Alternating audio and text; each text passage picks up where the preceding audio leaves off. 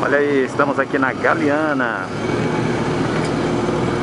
Galeana recebendo asfalto, fruto aí de uma emenda do deputado estadual Zé Gentil, saudoso Zé Gentil.